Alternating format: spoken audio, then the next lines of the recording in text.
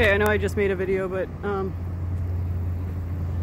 so they've all gathered because horses and all mammals really are habitual creatures. So, and nobody else but me really likes to walk out there and be with them. Um, it's not usually too safe to do that, but as long as you know what you're doing, it's okay. But when they gather like that, you don't want to be in the middle right there with a bunch of horses like that. It's, uh, it's never really safe unless you really pick up their body language. I'm not saying I do, I'm just saying um, to be careful.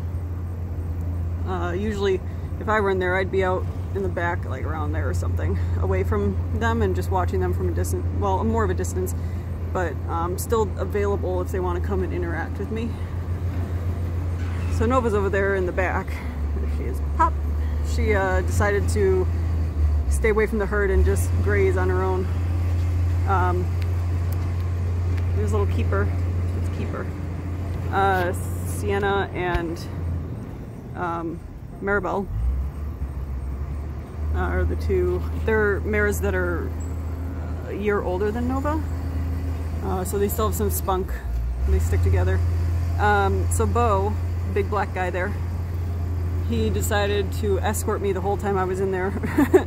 I, uh, I had to go quick, so I let Nova walk off with her rope on still, so I had to go after her to take it off.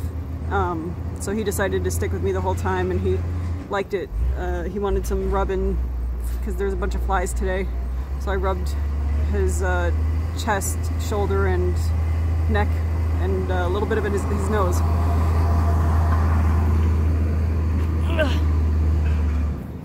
Anyway, um, so he was wanting some attention, I think, uh, to get the flies off, probably.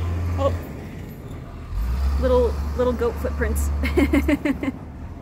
anyway, I just wanted to. It's not really a herd talk. I mean, they were all standing behind Bo because right now he's the only gelding out there, so he's the herd leader at the moment. Um, so he, that's pretty much the only herd talk I could really.